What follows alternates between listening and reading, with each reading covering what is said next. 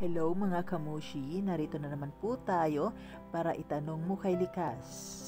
So ang topic po natin ngayon about mushroom spores. Nakikita nyo po ang usok na lumalabas sa mushroom na yan. Yan po ay ang mushroom spores na nag invite ng mga insekto.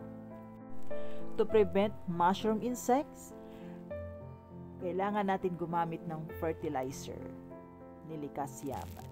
Smoke can invite insect. Yes, 360 degree ang layo ng usok na yan. At nag invite siya ng flies at ang mga hanep. So, pag lumapit na yan, mag-iitlugan na yan sila. So, mushroom fertilizer can prevent insect. Yes.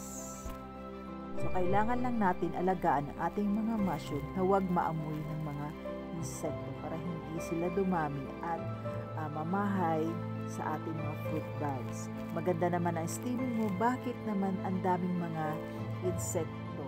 Dahil sa unang flashing pa lang ay nag invite na siya sa mga insekto dahil dyan sa mushroom spores.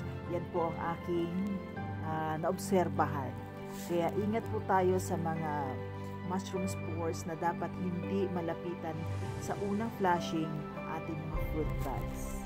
So, paano natin ma-prevent ang mga insects ng ating mushroom at paano natin ma-prevent ang pagkalat ng mushroom spores na hindi maaamoy ng mga insekto.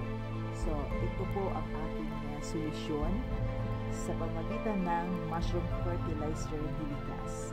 I-avail nyo lang po sa akin, PM lang po kayo para maalalayan po kayo. At pwede po po kayo isama sa aking GC. Maraming salamat po. Thanks for watching.